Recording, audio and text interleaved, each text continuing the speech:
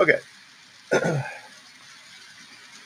so this thing I'm teaching tonight um, is the predominant uh, idea. That's the predominant supporting idea uh, around what we teach in our training cycle. Is what we call it. It's 24 trainings, teachings that we go through every six months, and basically uh, what it is, if it's a new believer, you know, we're establishing a foundation. If it's a believer that's been in church their whole life or even come out of, you know, a cult or a very, very, very religious church, um, it, it, the purpose is to lay a brand new foundation. And a lot of that stuff, I don't, I don't teach that stuff on this call, although I teach around it. You know, it's not, um, you know, most of the people on this call are on our either in our Sunday gathering or uh, listen to it after the fact or watch it live. So I don't reteach those things here. I just,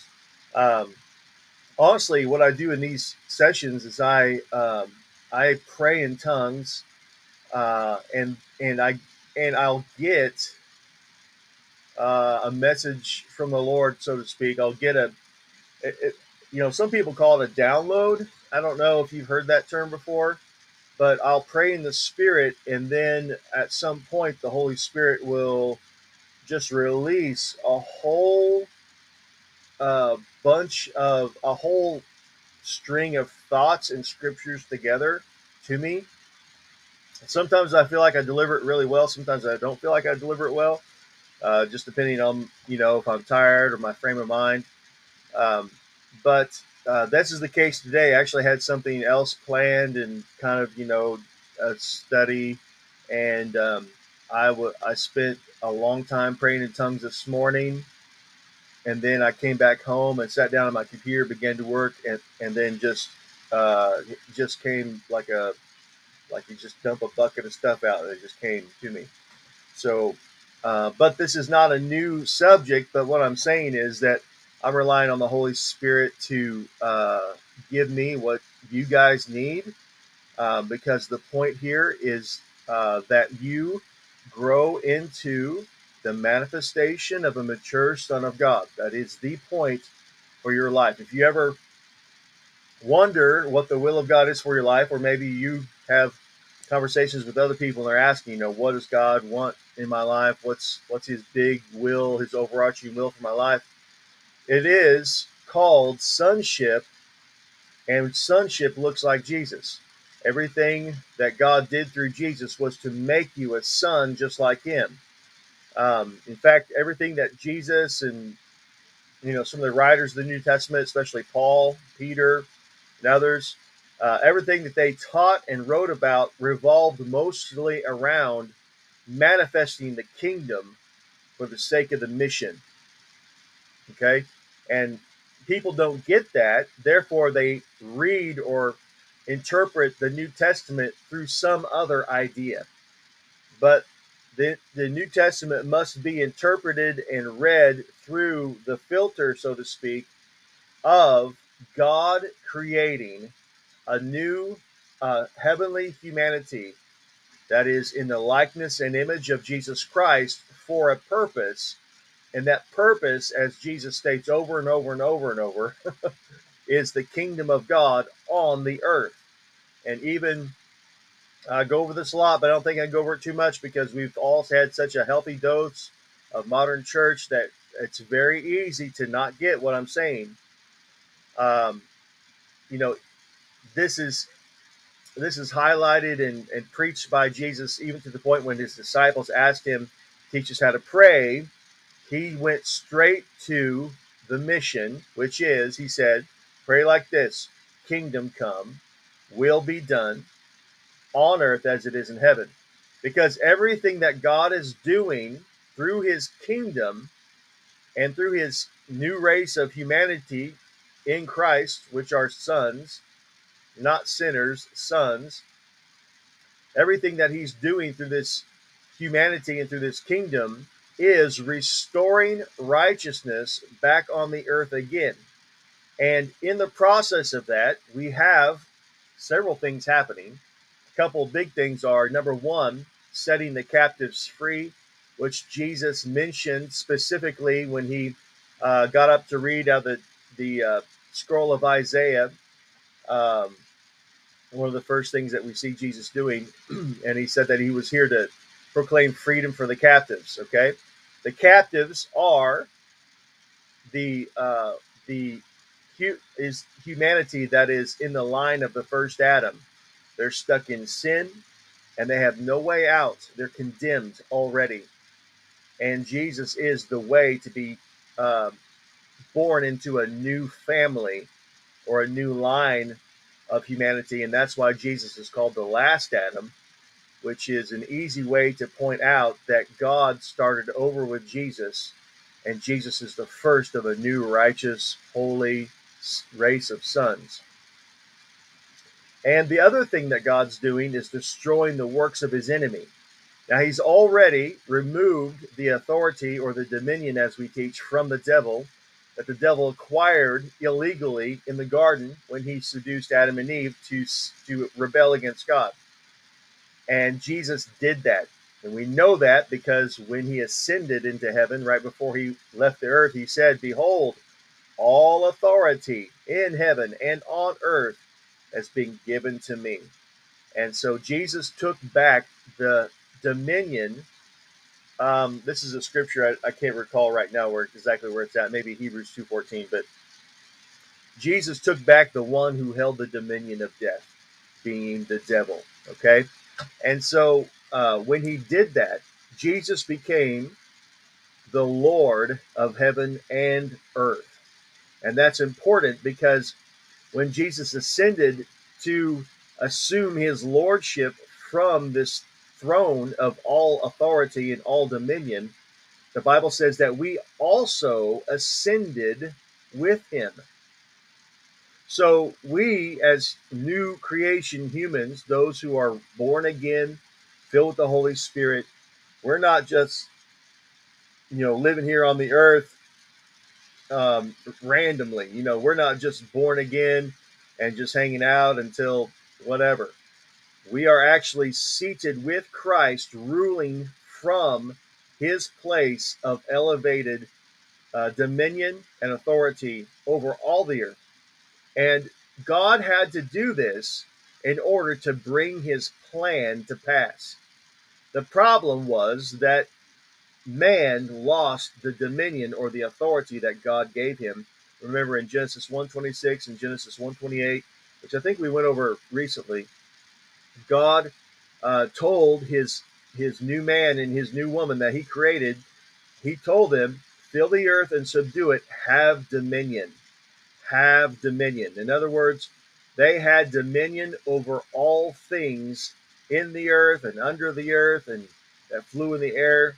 They were to uh, rule it all. Even in the case where an enemy like Satan was about to come uh, they had dominion over that too, only they did not operate in dominion.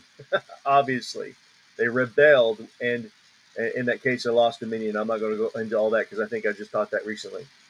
So, God's plan to establish His kingdom on the earth um, is for that kingdom to be established with a new race of humanity called sons, who are in the likeness of Jesus Christ who have Jesus's authority, his power, his ability, his name, and that we would through the through obeying his commands uh, begin to subdue all the works of the devil, destroying all the works of the devil, and also uh, uniting all things in Christ on earth, including all nations.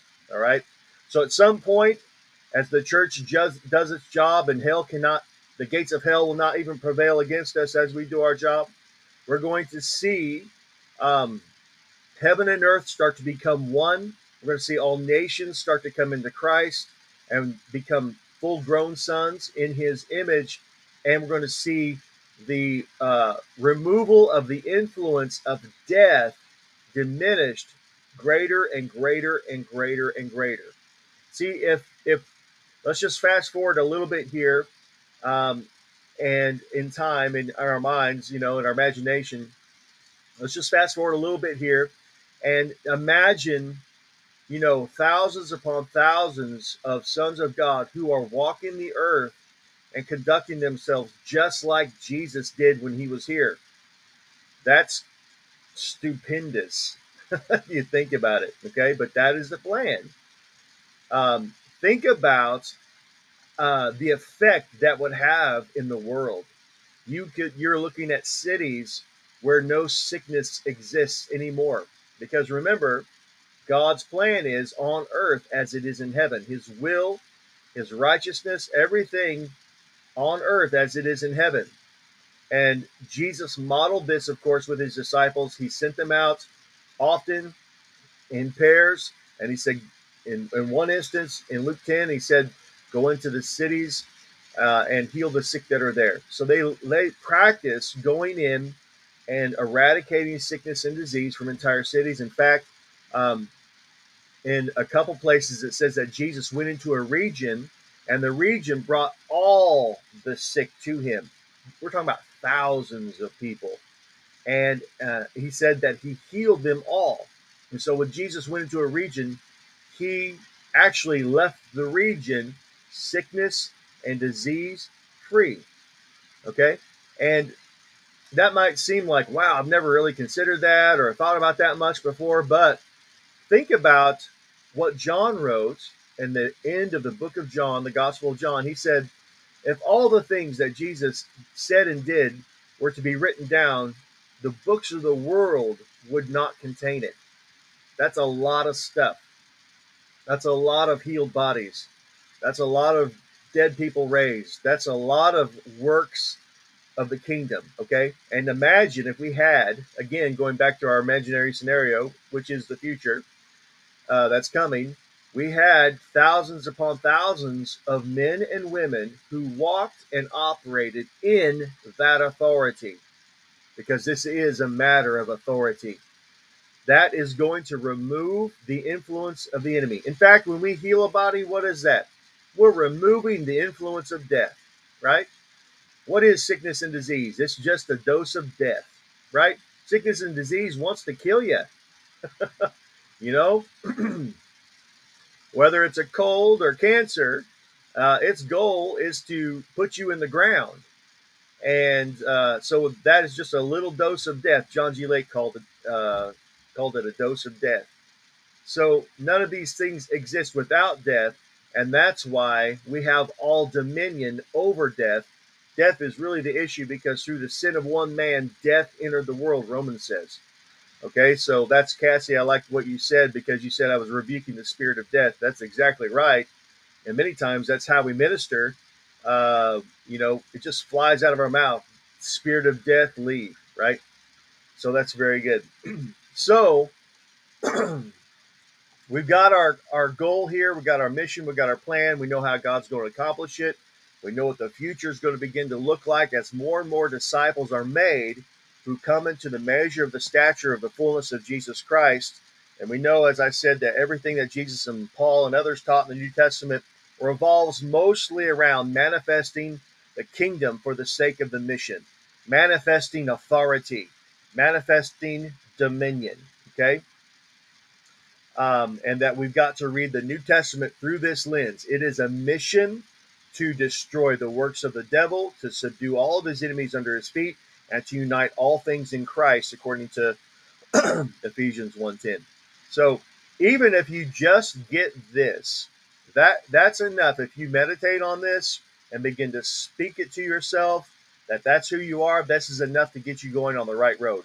Uh, but tonight, I want to actually dive into how you can uh, begin to enter this process uh, in a very practical and real way.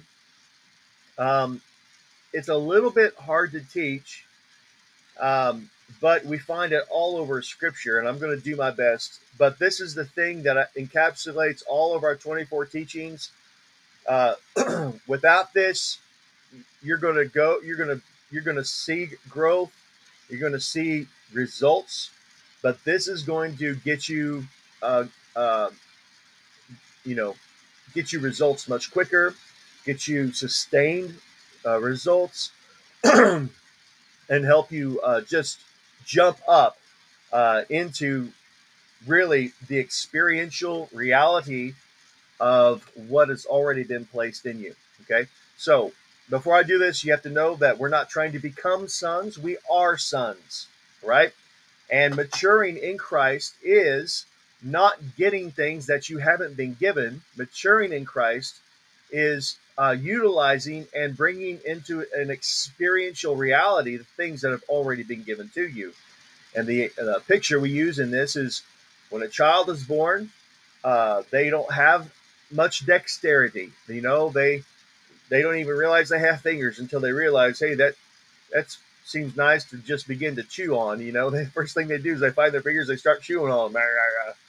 Um, and then later, a few years down the road, they're able to play, you know, classical music if they practice classical music on the piano. Well, how did that happen? They didn't get more fingers. They didn't get different fingers. They developed the fingers that they were born with. And as a son, you are born with everything that you need to mature into the measure of the stature of his fullness. Now, if you unless you really take hold of this and believe it, uh, it's going to stunt your growth because you're going to be waiting for something that you think God has yet to give you uh, regarding a son. Okay? So, I'm talking about uh, the baptism of power. I'm talking about dominion and authority. I'm talking about um, God's character and nature. All of these things that made up Jesus are how he has recreated us. All right.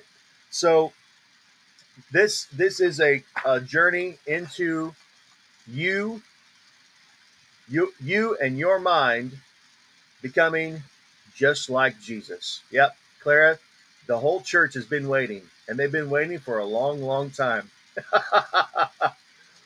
no more waiting. All right, let me read a couple verses here just to back up the fact that we are to grow into the fullness of Jesus Christ. Again, you're going to have to renew your mind on this stuff. You're going to have to meditate on these things, write these verses down, meditate on them, you know, confess them out of your mouth, speak them, believe them. Uh, Luke 6:40 says, this is Jesus speaking by the way, a pupil is not above the teacher but everyone who has been completely equipped shall be as his teacher. Of course, Jesus is speaking of making disciples. Everyone that is equipped shall be as his teacher. So, what's he telling them? Listen, guys, we are equipping you to become just like me. Uh, many scriptures support this. I'm going to read a couple more, but one I didn't write down is First John. Uh, speaking of us being a complete son, he said, "As he is, so are we in this world." That's present tense. As he is in his dominion, his authority, his power, his ability, so are we. Other scriptures like um, uh, 1 Corinthians chapter 2, it says that we have the mind of Christ. All right? Not he will give us the mind of Christ or he's giving us little by little the mind of Christ. It says we have the mind of Christ. All right. So we know that we're in Jesus's um, mind that that we, when equipped, will become just like him. All right. Now I'm going to go to Ephesians 4:11. This is the purpose of the uh, what we call the fivefold gifts uh, the apostle, prophet, pastor, teacher, evangelist. And it says in verse 11, He gave some on the one hand, this is the Wuest translation, by the way, and He gave some on the one hand as apostles, and on the other hand as prophets, and still again some as bringers of good news or evangelists, and finally some as pastors who are also teachers for the equipping, and there's that word. Remember, I just read it in Luke 6:40. Everyone who has been completely equipped, and here's this word again, uh, for the equipping of the saints for ministering work with a view to the building up of the body of Christ, until we all attain to the unity of the faith and of the experiential, full, and precise knowledge of the Son of God to a spiritually mature man to the measure of the stature of the fullness of Christ. And I taught uh, a few weeks ago about this um, uh, finishing the construction. Uh, this is one of the verses that we use for that Greek word uh, for building up. It means to complete a structure. So we have a starting point and we have a finishing point, uh, we could say, which is called here a spiritually mature man. And then it defines the spiritually mature man to the measure of the stature of the fullness of Christ. All right. Uh, one more scripture, Romans 8 19 says, For the creation waits with eager longing for the revealing of the sons of God. For the creation was subjected to futility, not willingly, but because of him who subjected it, speaking of the devil, of course, in hope that the creation itself will be set free from its bondage to corruption and obtain the freedom of the glory of the children of God. For we know that the whole creation has been groaning together in the pains of childbirth until now. And not only the creation, but we ourselves, who have the first fruits of the Spirit, groan inwardly as we wait eagerly for adoption as sons, the redemption of our bodies. Okay, so this these scriptures are pointing to um, uh, illustrate God's plan that through the church or through the sons of God uh, who become mature, spiritually mature, or into the measure of his stature, of his fullness, that even the corruption that is on all creation would be lifted by, as it puts here, the freedom of the glory of the children of God. Okay? Now, none of this has to do with heaven. we haven't even set foot in heaven here. We're talking about God's plan for the earth. And you, as a son of God, God's plan for you revolves around this life here on earth. And it revolves around us uh, setting all things free. I quoted that scripture a minute ago, Ephesians 1.10, to unite all things in Christ in heaven, uh, things in heaven and things on earth. Listen, if things are united in Christ, they have obtained the freedom that is in Christ. And that is what we're going for. We're going to completely liberate not only humanity, but even all things that have experienced death. Death didn't just come on humans, it came on all creation, right? And death is going to be, uh, the influence of death is going to be removed, not just by Jesus, but by his church, okay? All right, now here's why I want to get to the practical stuff of how to begin to walk in this. You'll probably have to go back and listen to this later again to get this. But if some of you have already stepped into this, maybe by accident or whatever, you'll um, you'll remember if you have when I start talking, and then you'll be able to make a little connection. Okay. All right, stick with me. Of course, if you have a question, just raise your hand or stop talking or, or whatever. I don't want to blow past any questions uh, because questions is how we learn. All right.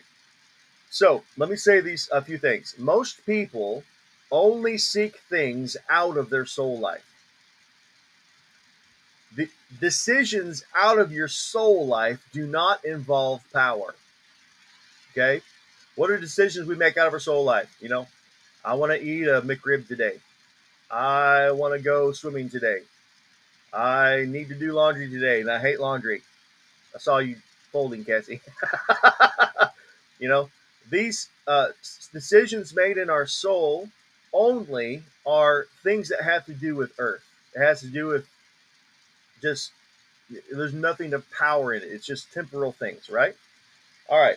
When you seek something out of your spirit, though, that is when power gets involved. And most people never learn to do anything out of their spirit because here's why they're carnally minded.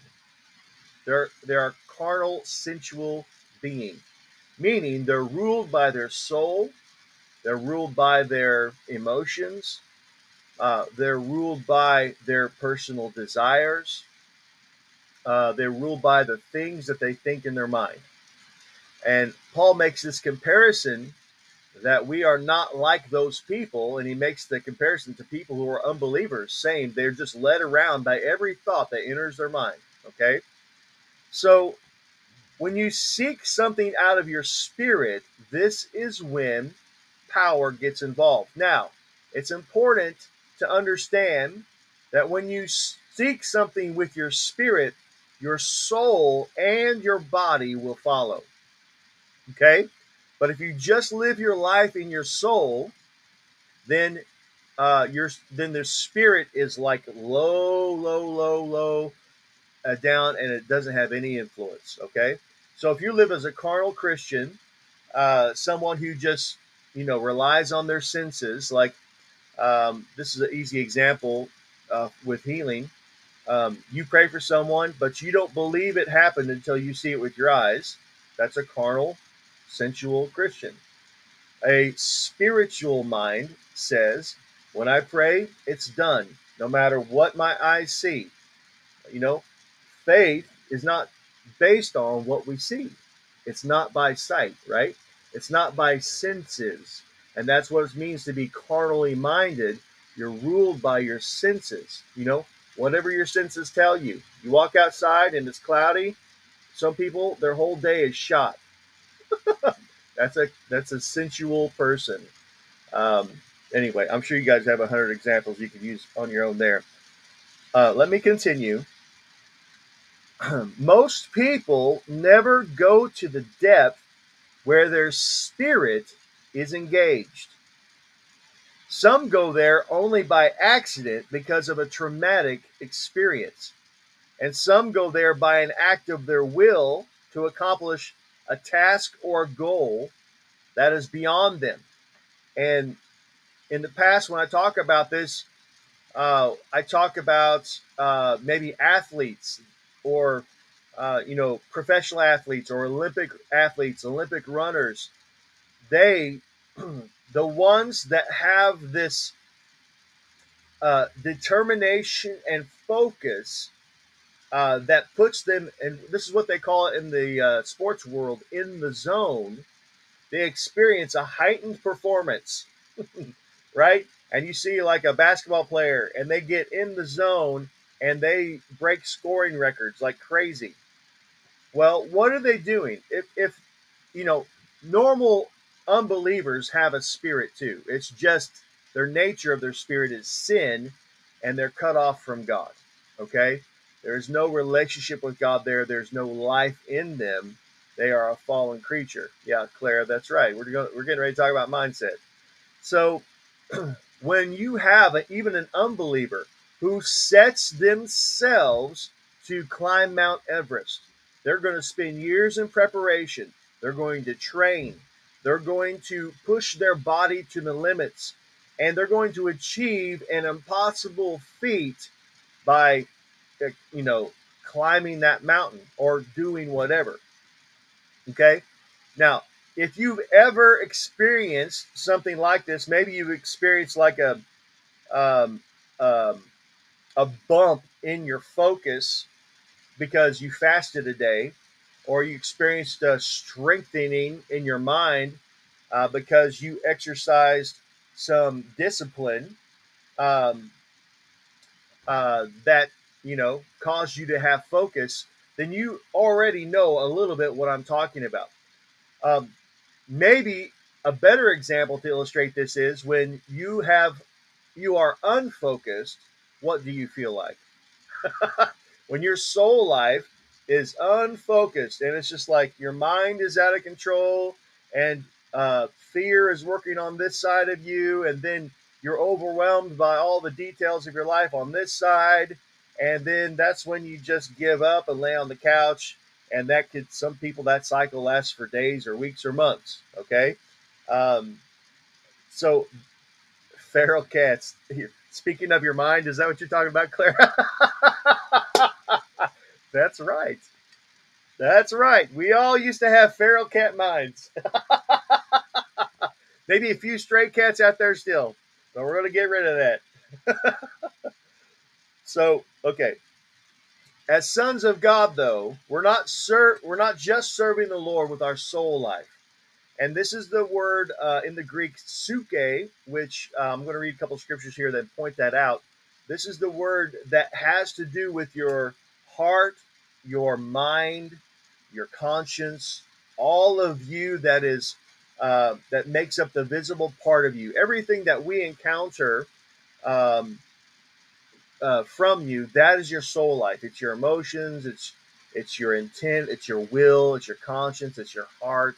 It's all these things kind of wrapped up together. And the Wuest translation translates the Greek word psuche as soul life, soul hyphen life. Okay, so as sons of God, we are to live from and serve the Lord with our spirit, which requires the soul life to be in agreement. So if you have ever subdued your soul life so that your spirit can be engaged, you begin to experience light in yourself, in your body. You begin to experience life in yourself. Yes, Cassie. Go ahead.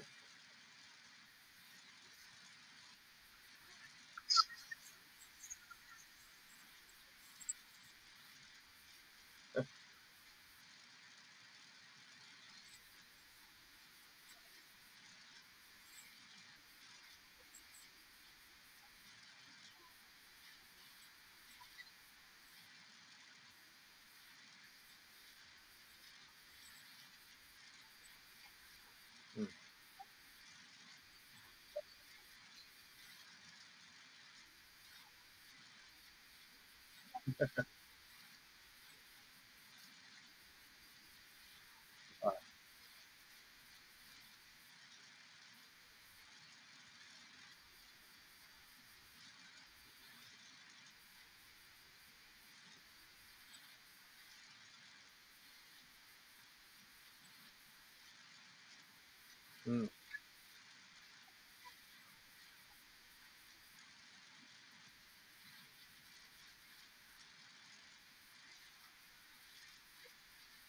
hmm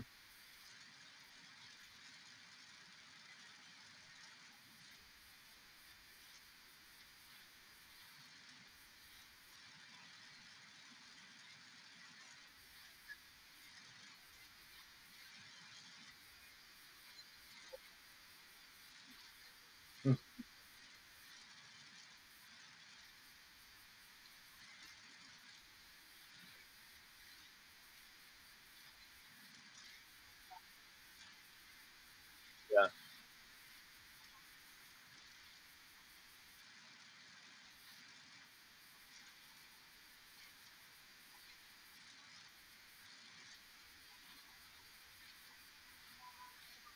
Uh, I'm sure you did uh, because you changed your mindset, right? You changed your mindset to do that. So I'm sure you did, right?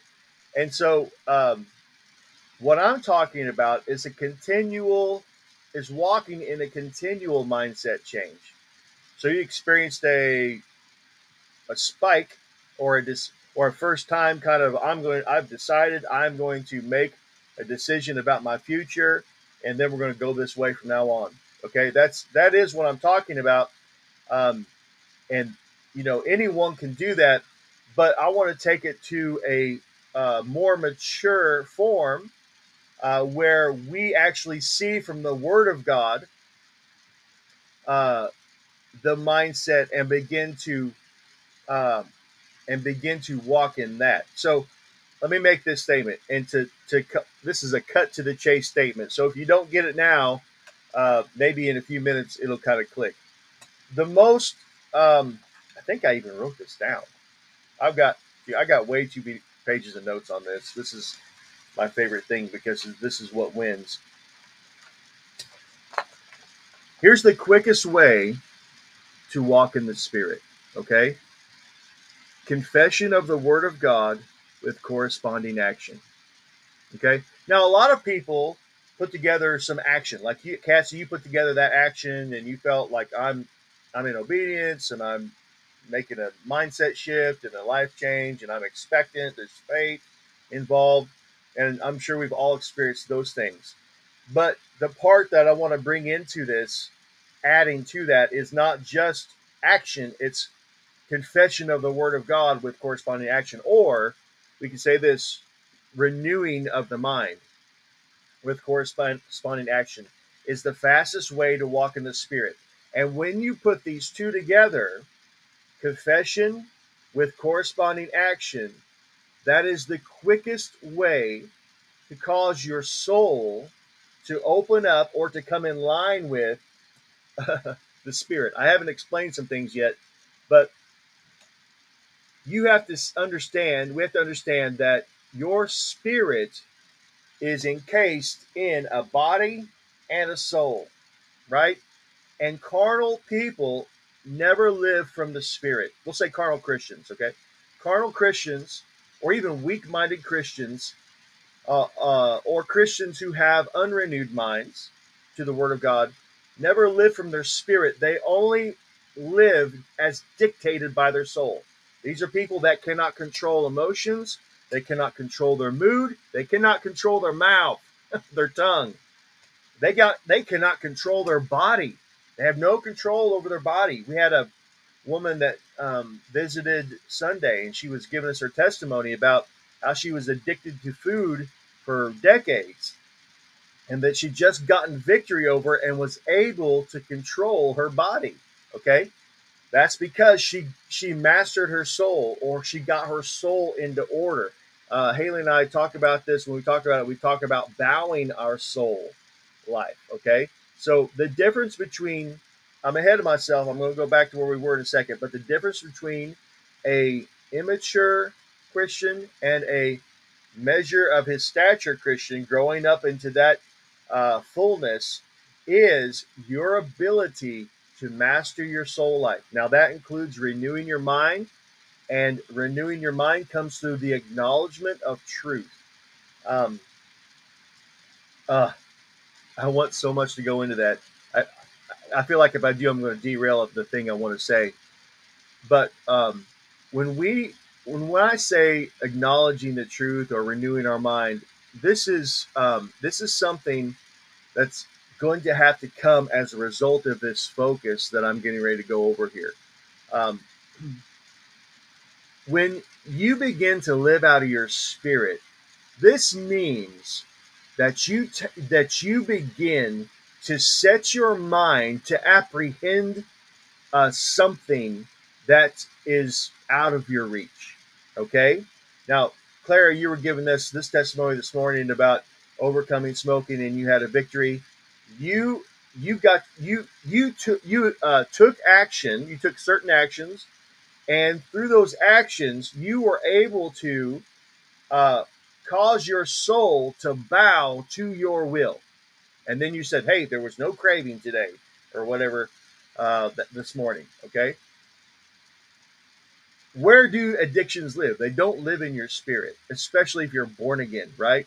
They live in your soul life and in your mind. That's where strongholds are developed, either good strongholds or bad strongholds strongholds of the enemy are developed in your mind. And you can see, I mean, I'm, sure we've all experienced some degree of strongholds in our mind after we got born again and got free. Stronghold of uh, a stronghold of the Word of God, though, is where we're going with this. So when we're when we are uh, causing our soul life to come into focus, I'm going to keep using this, even I, though I haven't defined it. Focus, what focus means. When we cause our soul life to come into focus so that our spirit can be engaged in something. Uh, that happens through uh, confession of the Word of God with corresponding action. And that's what I mean by walking in the Spirit. Um, I've told you guys this uh, a few times, but what I do every day is I set my Hey Siri and you know I set a timer for an hour, hour and a half, and I get up from my desk and I walk up to my mailbox and back, and I pray in tongues on the way to the mailbox. I shouldn't have said, "Hey Siri," she's talking over there. Um, I, I'll, I'll walk to my mailbox, I pray in tongues, and on the way back, I confess things. I acknowledge things. And when I do that, woo, it's like it's like I am filled. My entire soul and body is filled with the Spirit. And um, this is what it means to be baptized in the Spirit for that filling to overflow and even encapsulate you like a bubble. And that's what we uh, see when we read about the account where Peter uh, uh, was walking down the street on the way to the temple, and they put all the sick out on the sidewalks, hoping that his shadow would come across them and heal them. Well, it wasn't that Peter had a magical shadow, it's a baptism of the Holy Spirit that was uh, around him like a bubble. It was the it was the life of God that emanated from him that when it touched and came in contact with sick bodies, they were automatically healed.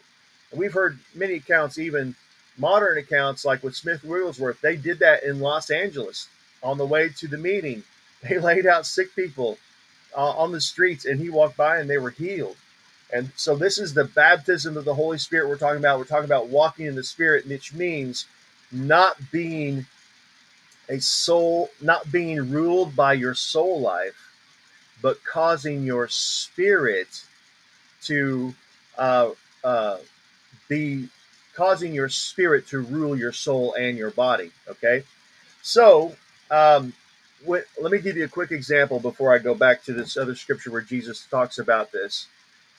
I go to my mailbox, I'm praying tongues, and on the way back, I start confessing things. And I have a bunch of things, different things I confess. But something, it goes something like this would be one I confess often. I am a son of God. I am born again. Now, these are like really basic things, but we're talking about we're talking about settling this reality in ourselves. This is why church is so impotent because it's uh, it's the if they actually put on display and talked about the things that are true about them, people would laugh. You know, people would scoff and mock, and they're not willing to under uh, go through that persecution. Okay, but you, in order for you to settle it in yourself, to settle a truth about who you are in yourself to the point that you experience it in your life, you're going to have to say it out loud and you're going to have to talk it out and you're going to have to convince yourself. You're going to have to come to a new conclusion about who you are as a new creation. Okay? That's that's how you begin to believe things, right? I mean, there's sayings out there like this. You know, you heard it so many times, you started to believe it. Well, that's how we renew our mind. So, I am a son of God. I am born again. Okay? And then I'll say something like, I am filled with all the fullness of the Spirit of God. The Spirit of God dwells in me in fullness. And then I'll say something like, and this Spirit exerts full dominion over all the power of the enemy. And then I'll say something like, I have dominion over all the works of the enemy over every demon and devil, over every sickness and disease. And then I'll say something like, and at my word, cancer dies. You see how we how I'm drawing a conclusion in my mind from start to finish because uh, I am preparing myself and staying ready to evict cancer every single time I speak to it because that's what Jesus did. He never failed. And He never intends us to fail in healing or deliverance or ministry to people of in, in any way or any shape, except we have to get it in our, we have to.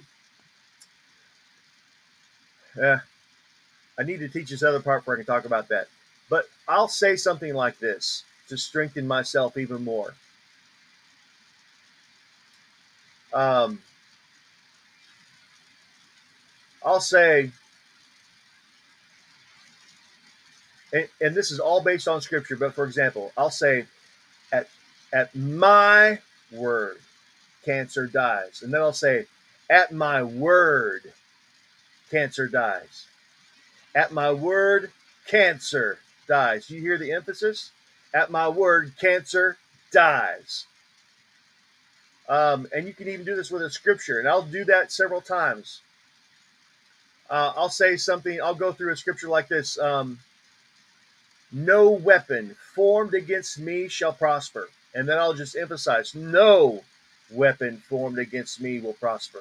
No weapon will form against me, be formed against me shall prosper. No weapon that is formed against me will prosper. You know, you just emphasize these different things and you're focusing on establishing and settling this in you.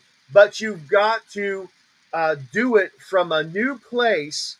Uh, you can't just, this is not just saying things out loud. You've got to do it from a, a place of determination that you will walk as Jesus walked.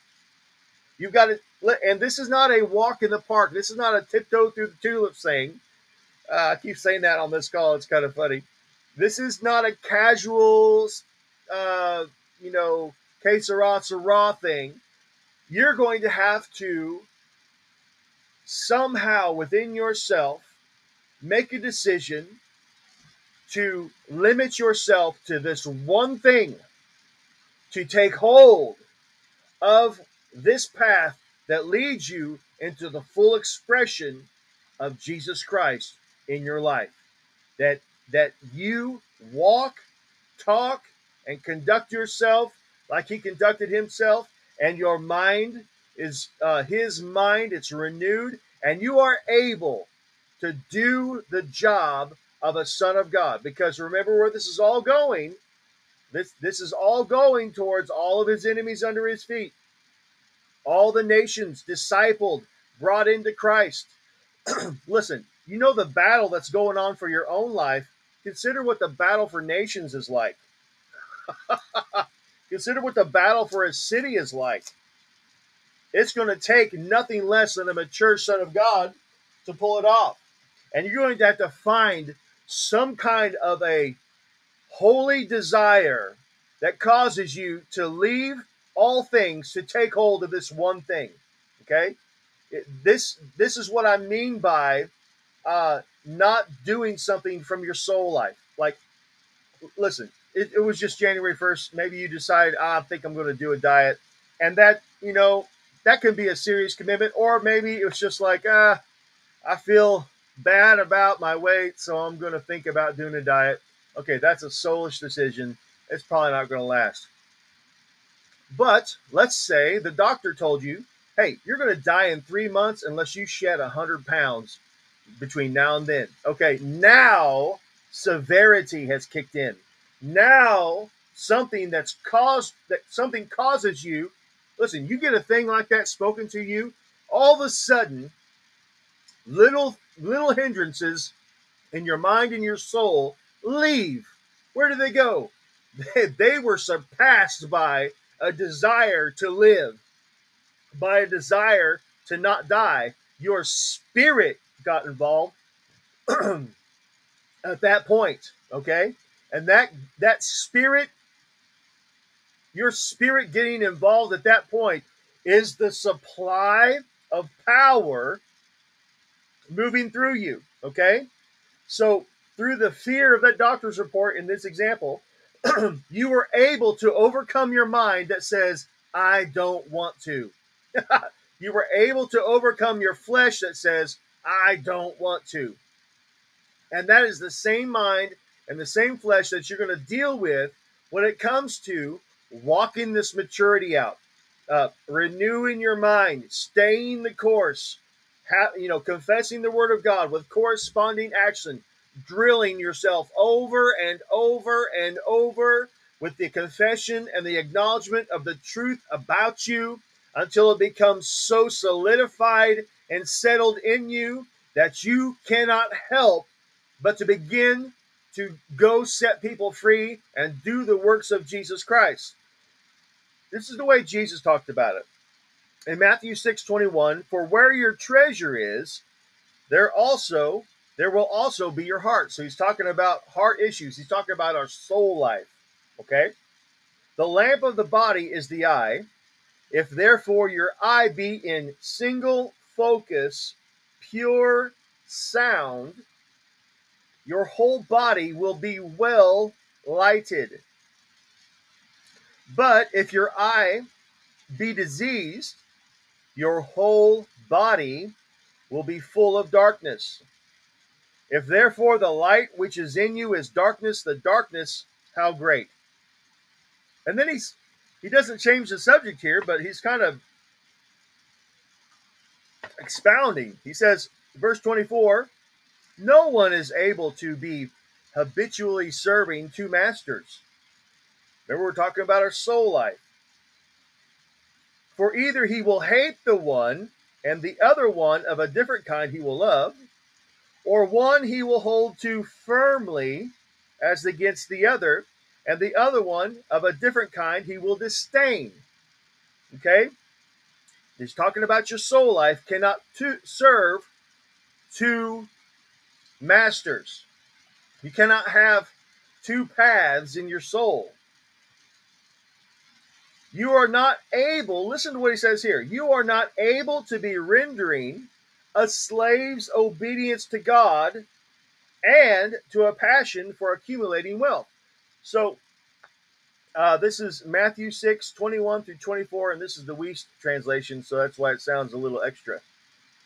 So, Jesus eventually brings us into a, your soul life because he first he starts talking about where your treasure is, there your heart is also, and then he ends it up with you you cannot render a slave's obedience to God and to a passion for accumulating wealth. So he's talking about don't seek the treasure of this world, right? Seek the treasure that is above, but this is a soul life thing. Okay? It is normal uh, for us to start out with a soul life that does not want to pay the price that it takes to arrive at maturity. Okay? That's just where we start. It's normal for a baby to not be able to play the piano. They can just do a little bit. They can grab a hold of stuff. That's it. Okay?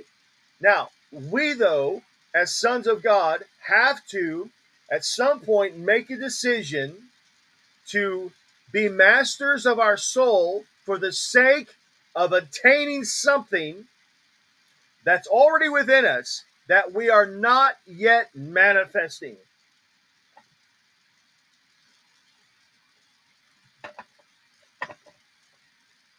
We have to come to this severe decision, this mental decision in our soul life that we are going to submit our soul to walk in the reality of something that's already in us.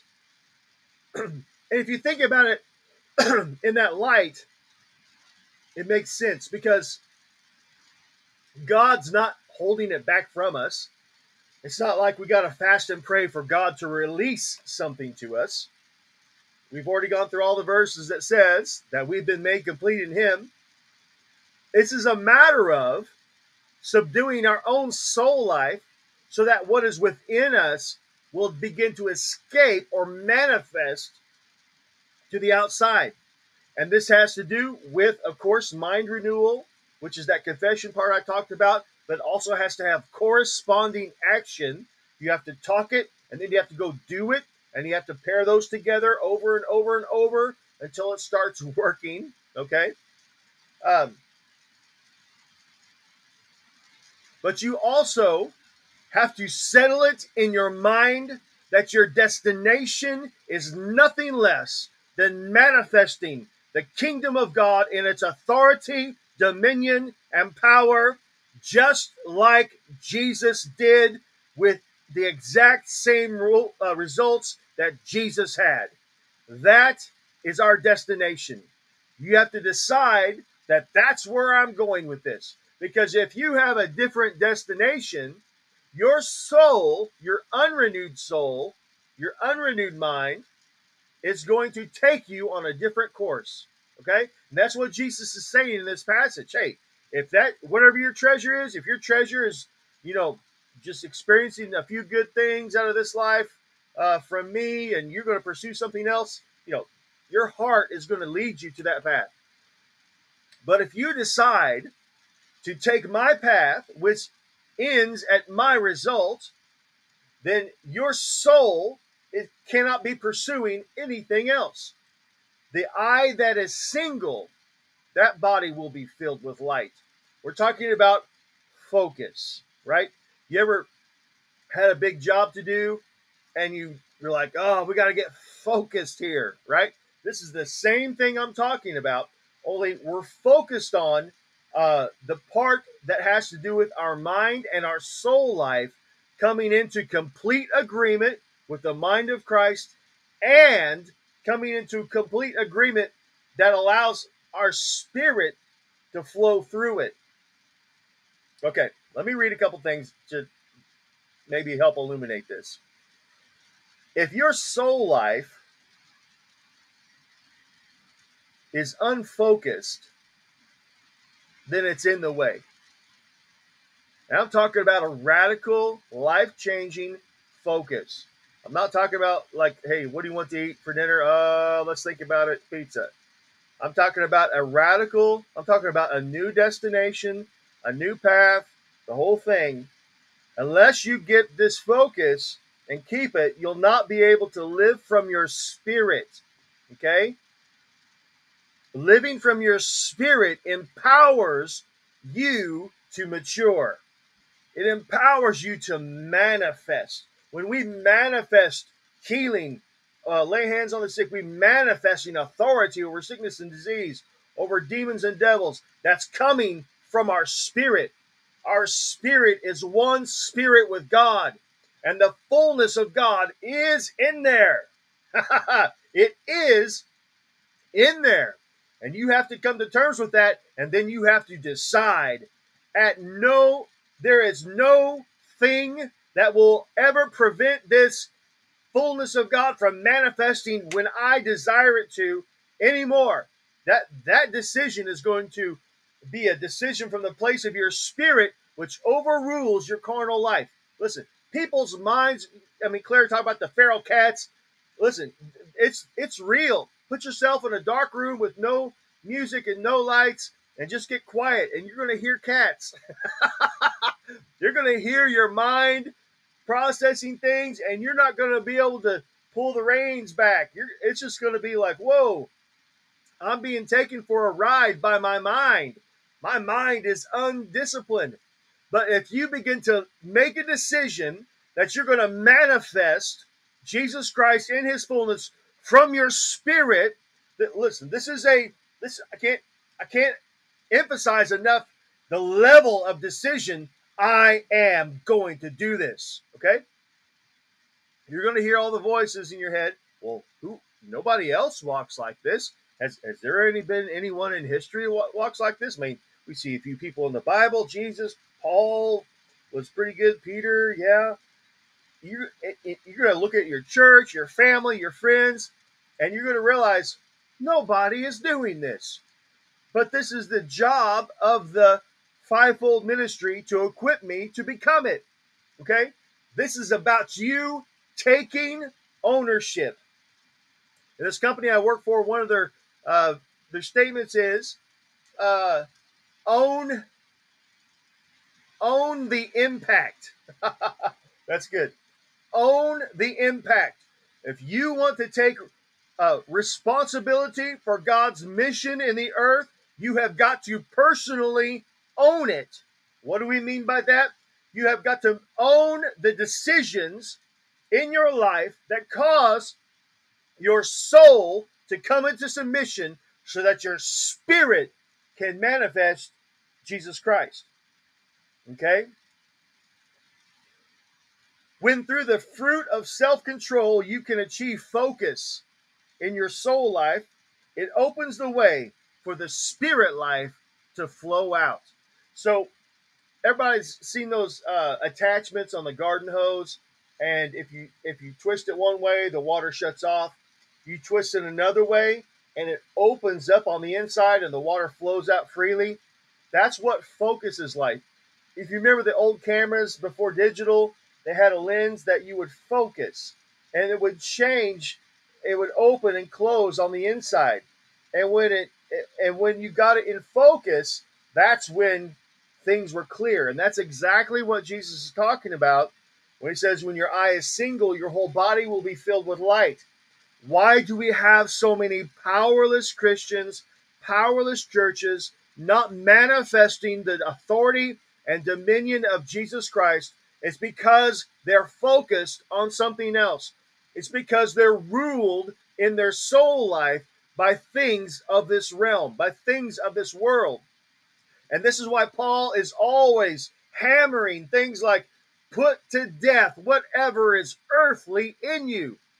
Why is he saying these things? Because he's saying get rid of these things because they bring uh, unfocus. They cause you, they prevent you from manifesting Jesus Christ. But if you get a focus, if you're if the if the uh, if the entire desire of your life is pointed in one direction, I will manifest the dominion and authority of Jesus Christ to subdue the works of the devil, to set captives free, and I will do it at will. And that decision right there will cause your life to be empowered by your spirit, and it and your spirit will overrule uh, uh, uh, and give you power to keep focused, to stay focused. It's called self control, uh, by the way. I just described it in a lot more flowery language. Okay, this is also what Jesus meant when he said, From your belly, rivers of living water will flow. Rivers of living water will flow from your inmost being. You begin to make a decision that I am going to do this. This is what we experienced before we started going door to door, or what I did, because I started by myself.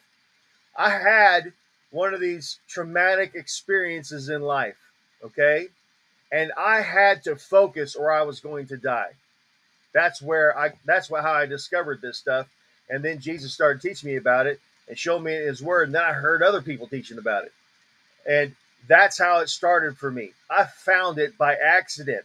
But when I I was reduced to just moving forward in Christ with no other distractions, with no other options, even, then power started flowing out of me.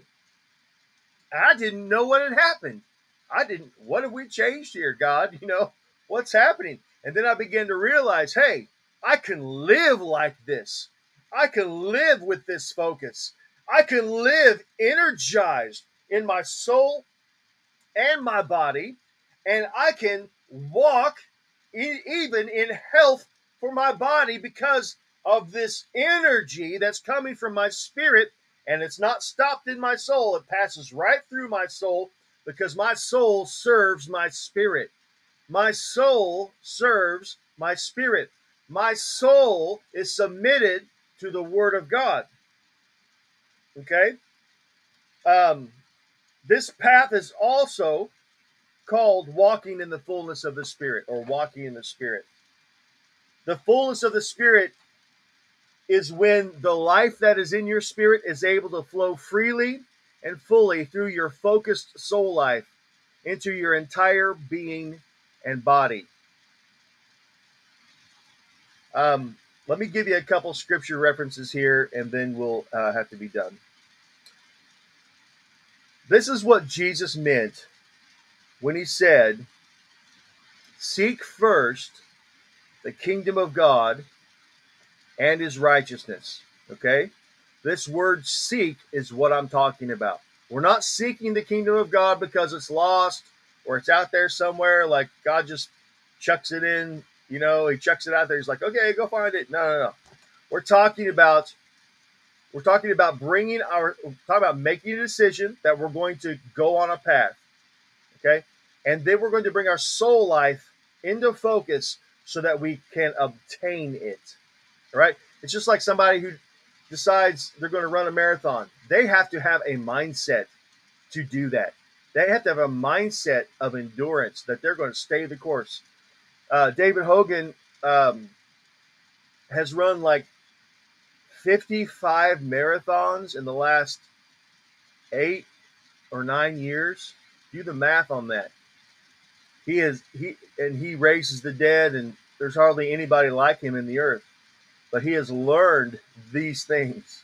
Okay, so when it says seek first the kingdom, this is this Greek word uh, zeteo. It means seek in order to find, to seek a thing, to seek in order to find out by thinking, meditating, reasoning, to inquire into, to seek after, seek for, aim at, strive after, uh, to demand, to crave, to demand something from someone. Do you see the a more colorful, full meaning behind seek the kingdom. Jesus is saying, bring yourself to bear in such a way for the kingdom that you begin to obtain it and manifest it. Remember, this is about manifesting the kingdom, manifesting authority, manifesting ability to do the job of the mission. Um,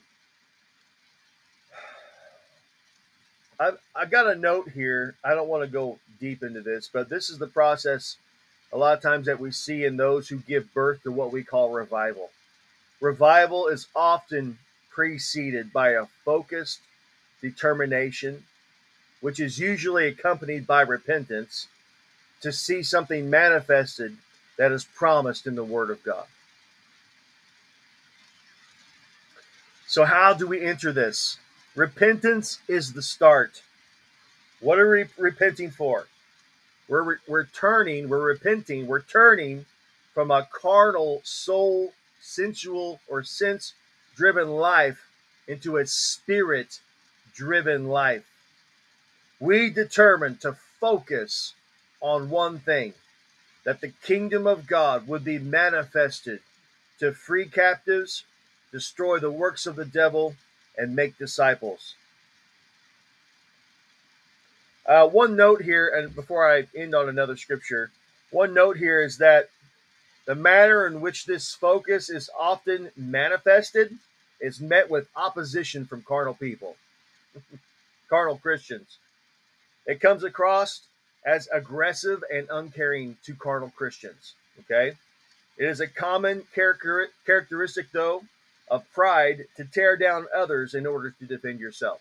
So people are going to be offended by uh, the the new man that is in you, offended by someone who lives like this. Okay, it often comes with an aggression. Okay, Jesus was aggressive.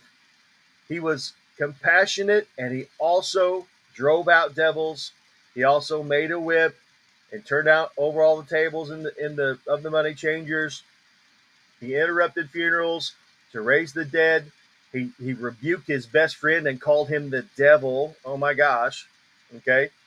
So this is a that comes across as aggressive and uncaring because living with this focus trains you to become soldier like and this is very scriptural. Paul even talked about Timothy uh, to uh, prepare yourself as a soldier, become as a soldier in this, because that is the right mindset, that is the right attitude.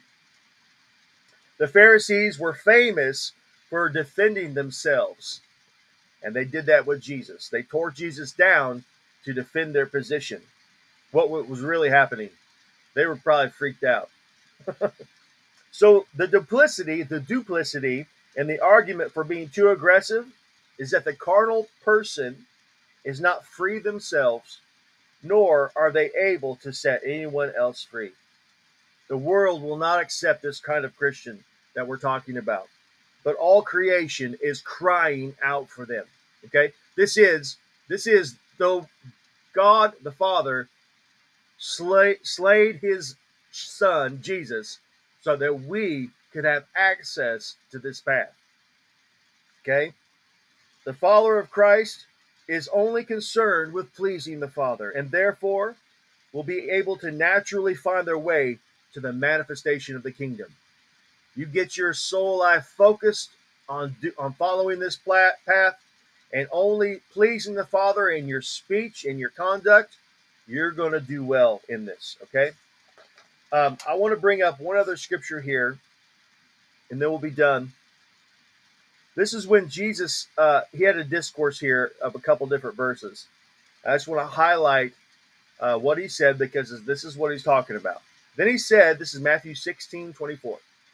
Then said Jesus to his disciples, If any man will come after me, let him deny himself and take up his cross and follow me. Okay? This word deny uh, is Greek word 533. It means to disown, abstain, to affirm that one has no acquaintance or connection with someone, to forget one's self, to lose sight of oneself and one's interests. Okay? That's who Jesus was. He was only focused on manifesting the Father. He said, I he said, You look at me, you see the Father.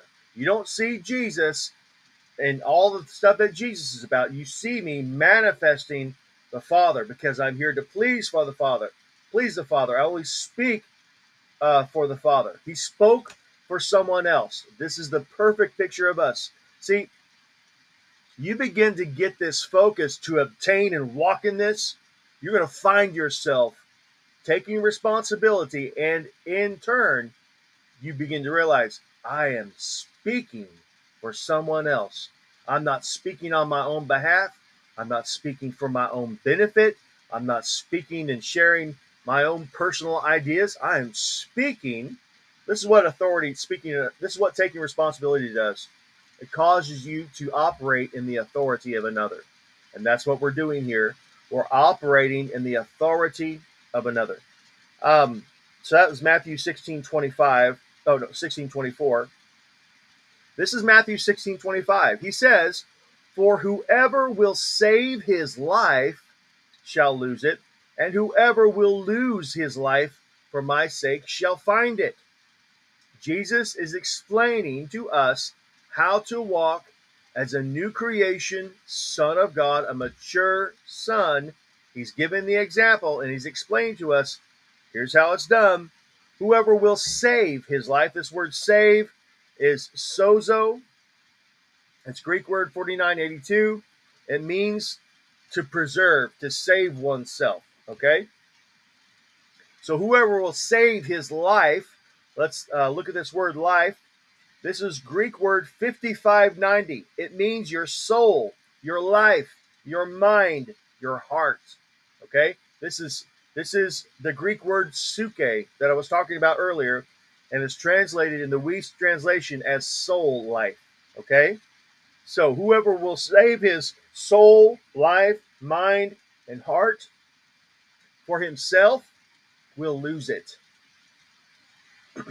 Remember, we are disowning and, and abstaining from our own soul life because we're going to bring it into order so that we can live the spirit life. All right? All right, so we've got whoever saves his life will lose it, and whoever will lose his life for my sake shall find it. Let's look at this word lose. What about losing your psuche, losing your soul life, putting your soul life in order for the service and purpose of living by your spirit, which is to manifest the kingdom of God at will. All right? So whoever will lose his life, let's look at this word lose. This is Greek word 622. Uh, it means to destroy fully. It means to perish, destroy, lose, to put out of the way entirely. Man, that's a good definition there. To put out of the way, whoever will put out of the way entirely his life for my sake shall find it. To put an end to, ruin, render useless, kill, to declare that one must be put to death so you get the picture there. You get the picture there, okay? So there, Paul is always talking about this stuff. And I mentioned one verse earlier where he said, "Put to death whatever is earthly in you." Why is Paul talking like that? Is he just mean, having a bad day? No, he again he is doing his job as a fivefold minister and apostle and teacher, and several other probably he's probably operated all of them. He's doing his job. He is equipping the disciples to become like the master, because anyone who is equipped will become like the master. He's equipping them to become like the master, and he's telling them your soul life, put it to death so that you can be enlisted in the service of another to to manifest the dominion that God has put in your spirit. Your spirit is the real you, and your spirit is one spirit with God. The new the real you, your spirit, your new man, it's really a blend of the Holy Spirit and your spirit. You've got a newly created righteous spirit with no sin. It's pure light. Now God joins himself to that new creation to make a brand new thing. This is the mystery of the husband and wife, by the way. Okay, they become one flesh. You become not one flesh with God, one spirit with God. 1 Corinthians 6:17, he who joins himself to the Lord is one spirit with the Lord. And this new being that is in you, which is a marriage of God's spirit and your spirit, uh, is what causes healing to happen, is what causes devils to flee, is what causes your words to be spirit and life.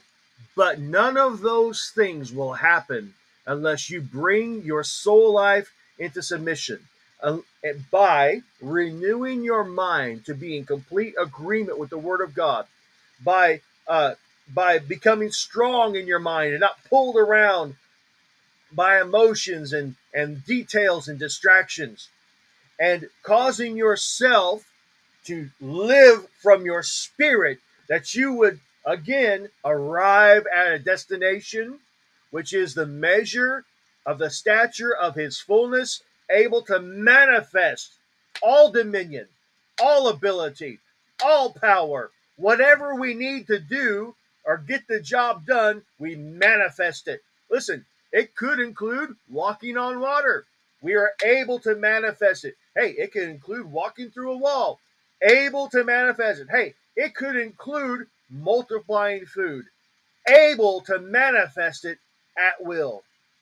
These are the kinds of sons that the earth is crying out for because they have the they are God's arm in the earth for salvation, healing, and deliverance and restoration. And this is the agent that God is has chosen from before the foundation of the world to bring heaven and earth together as one in Christ in his son.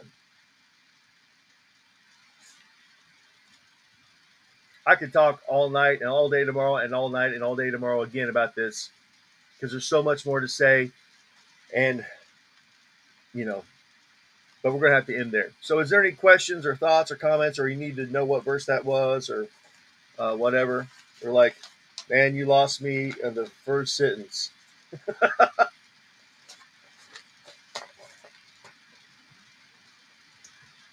questions, comments, thoughts? Yep.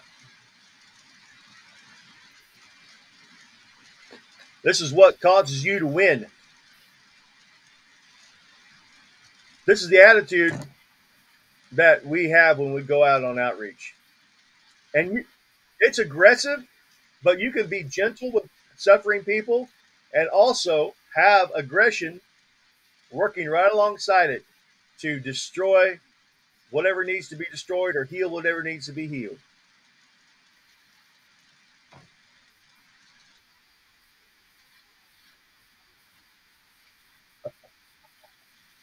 Yeah.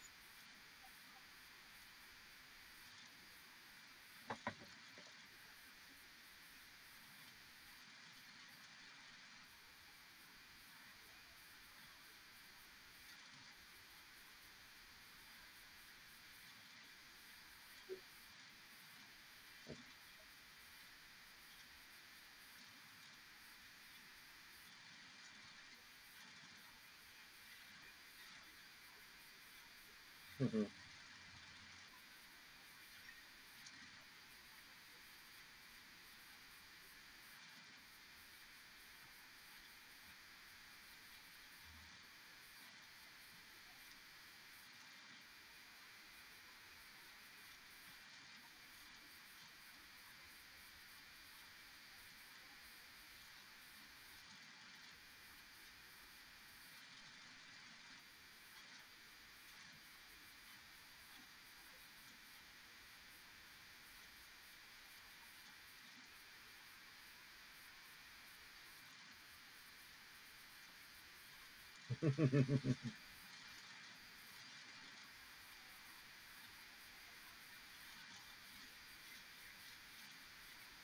oh,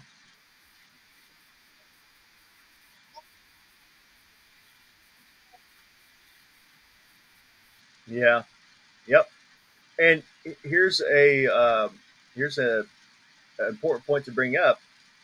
Uh, your soul life tends to take over or influence you more at those times when you're tired or you're worn out, you're like after work.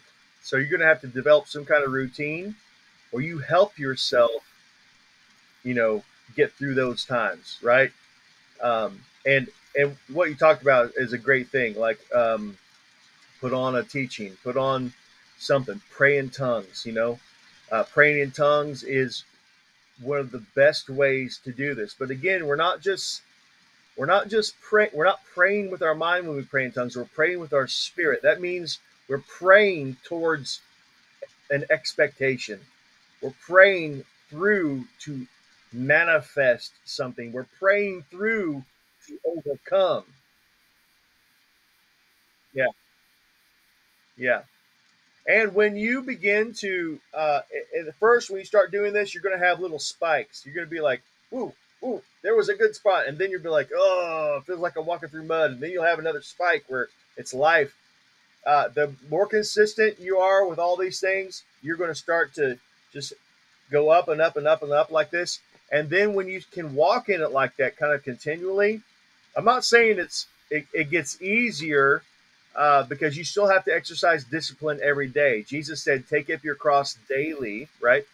Uh, but you'll be able to do things like heal the sick much more effortlessly, right? Instead of pushing and trying, you'll be able to lay hands on the sick. And uh, usually, this is what we do: um, is we'll uh, command and break the power of whatever has bound them, right? Uh, if it's cancer or whatever, and then we'll put hands on them and just release a flood of life. Whoa, just let it in, pour, pour in, pour in. So we break the power of the enemy. If it's a spirit that's actually there, or if we're just like Cassie was talking about, commanding death to leave, and then we pour in life, and that that life goes in and heals all the tissues and makes new organs or recreates eyes that are blind or whatever it needs to do. But that flow is effortless. Remember in the Old Testament, said uh, in uh, I can't remember where, uh, but it's it's a real famous revival verse. Verse. It's not by might, not by power, by power, but by my Spirit, says the Lord. And when you begin to uh, walk in this consistently with this kind of a focus, with this kind of a uh, in this place where your soul life and your body are submitted to your spirit and you're living and doing everything from your spirit, hey, you're going to be a super intense person. You're going to be like aggressive and things, but you're also going to be able to manifest the power and life of Jesus Christ in any situation very quickly. Very quickly. Even if it's just you overcoming a temptation, right?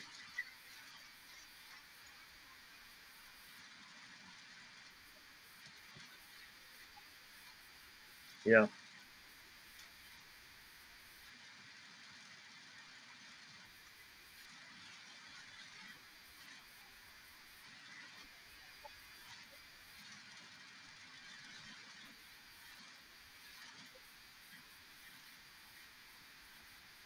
Good. Listen, we're not trying to obtain something we don't already have. We are already a son.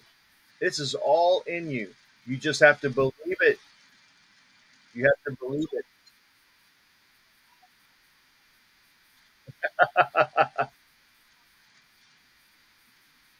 yep, you're going to have to begin to confess and acknowledge the truth about who you are consistently and several times a day.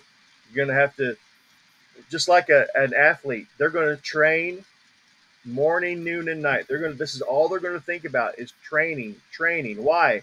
Because they're going to run away a race in order to win. Okay. That's the what you have to do with your mind. You have to start training your mind, and it's going to take discipline, and you're going to have to put some time and effort into it, and you're going to have to overcome some of those roadblocks that churchianity put in there. But you can do it. We all can do it. Uh, it, it is not only possible, but God commands us to do it. And the result is your entire life will be transformed. Did you know that this is the only verse that really promises that we will be transformed? Is Romans 12 2. Do not be conformed to this world, but be transformed by the renewing of your mind. And this is really what I'm talking about tonight. But people don't often put behind it this decision, this life altering decision to take hold of the manifestation of Jesus Christ, to walk in fullness, to come to mature into the measure of the stature of his fullness. That's got to be your target. If it's not your target, you're going to arrive at a different destination and it's going to look like churchianity. right? If you want to, this may not be where you wanted your life to go, okay? But uh, again, talking about, you know, deny yourself, which means to completely abstain, put it, push it out of the way. This is what it means to take up your cross because now you are representing to the earth the authority of someone else who has sent you to do the job. Okay. So you don't get, we don't get any say in this. This is how we, this is who we've been made and this is how we operate. Now, at the same time, hey, we can bring our family up in this.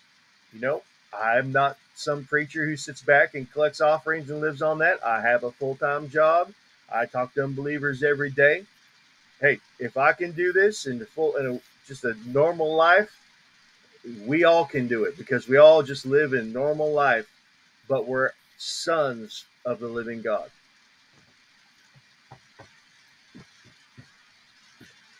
Any other thoughts or questions?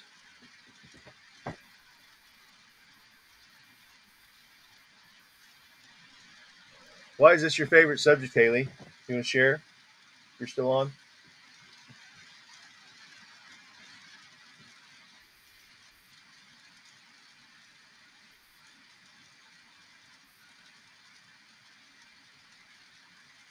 You're not coming through. Can you start over?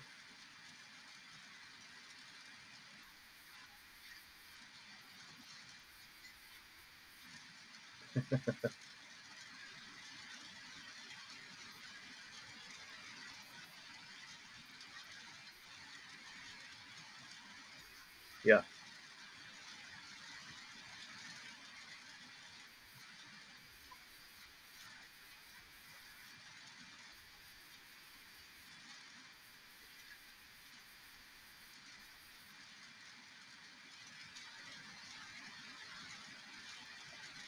That's true. That's true.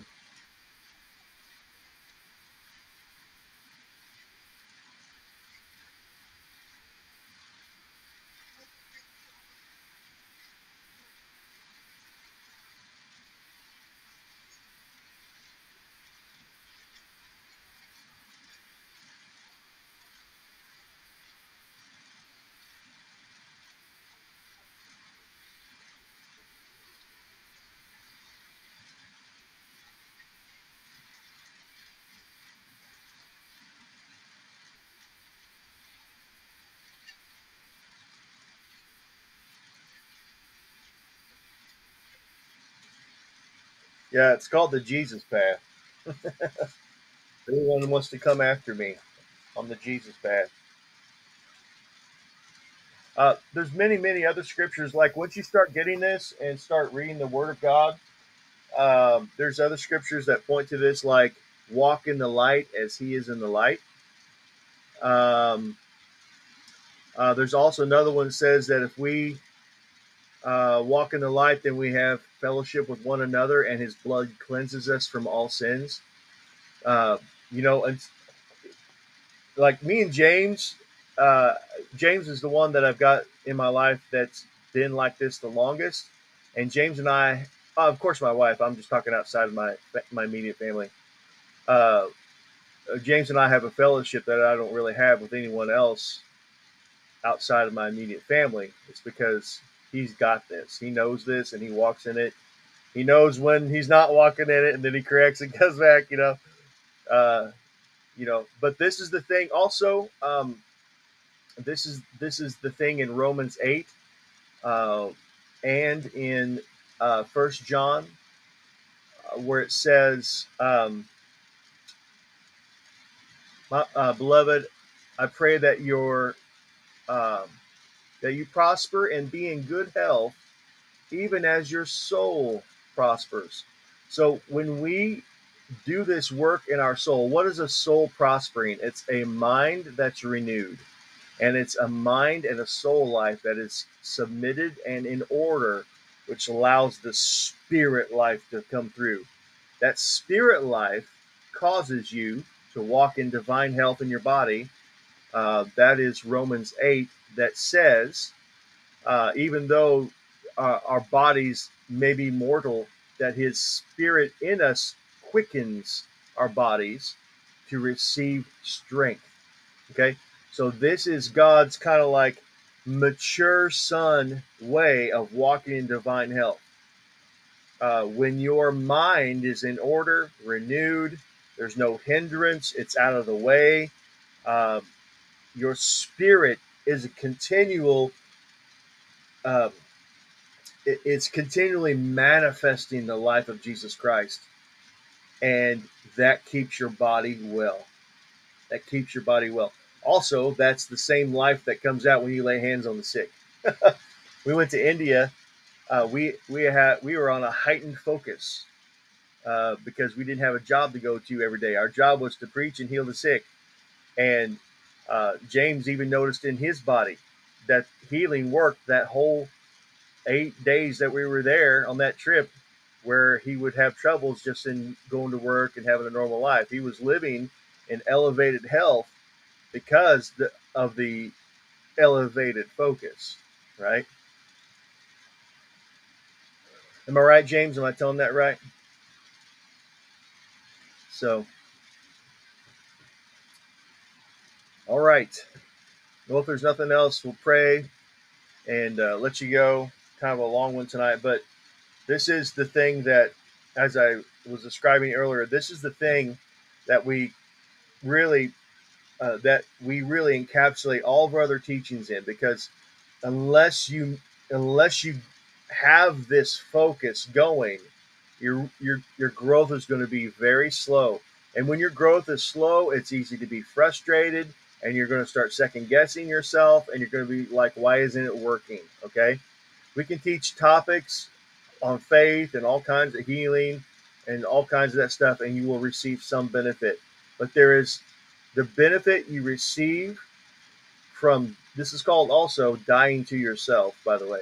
The benefit you receive from this level of focus that brings you into a mature sonship, it, it is it it is the thing that we have to take hold of, or else um, uh, we're going to be always kind of like, oh, this is hard, right? This is slow. When do we win? I w- and I went for twenty like twenty years in normal Christianity until again I went through that experience was like I have to I, I have to take hold of something that I'm not even sure if it's there or I'm going to die. And I found it. I found him. At the same time, I found authority and power. And then I saw, all of a sudden started reading it in the Word of God. So, all right, let's pray in Jesus' name. this is why Paul is always also always praying these prayers like May you be strengthened with might according to his glorious power. Uh, you know, these prayers about being strengthened with might in your inner man, the spirit of might in your inner man. This is all about living from the spirit.